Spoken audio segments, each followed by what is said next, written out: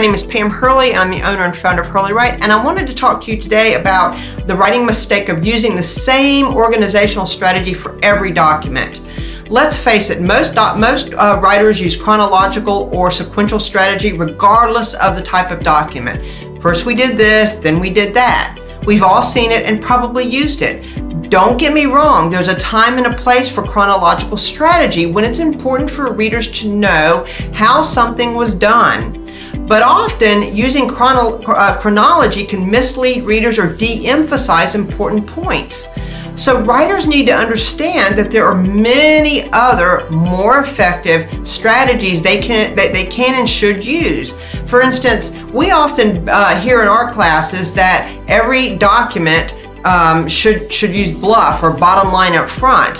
But this isn't true. This is only true under certain uh, under certain circumstances. For instance, when the reader already agrees with you and you don't have to convince the reader of your idea or to agree with you or your position, BLUF works under those circumstances. But what if you know your reader will probably be dismissive or hostile to your idea?